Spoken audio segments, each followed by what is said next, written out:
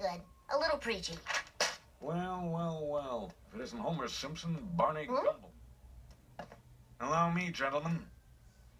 It's Homer before his boobs came in. Hey,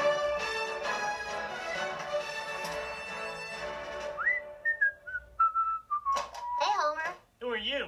I'm your unwanted son from the future who killed all your fun. Why, you little... Excuse me, is this room 106?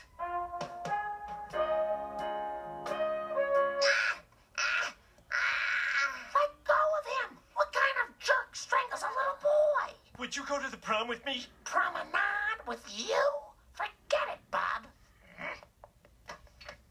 It was love at first sight and you ruined it! It was not love at first sight. What do you know? I know who I'm in love with. You're looking at him. You're an idiot. You're the idiot. Oh. Don't act like I'm the first person that ever said that. You are the first person who ever said that. Shut up and go to the prom with me. Hi, caramba. If you guys don't get together, what does that mean for me in the future? I don't exist?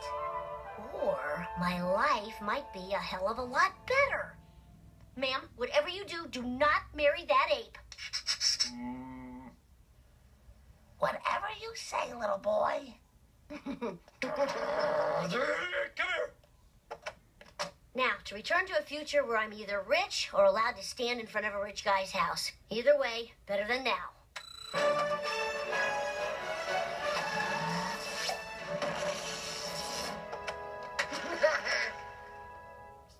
Kid steals my future. Well, I'm going to ice cream with cookie dough.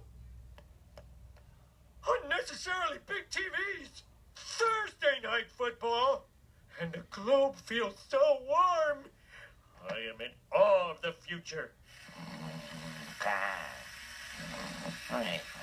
Okay, that's not so great.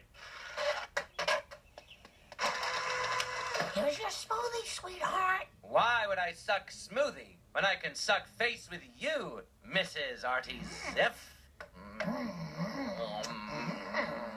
My dad is Artie Ziff? Indeed, which makes you Barty Ziff. Oi, caramba. Good morning, beloved son.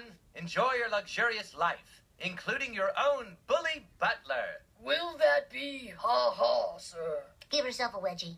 Excellent choice.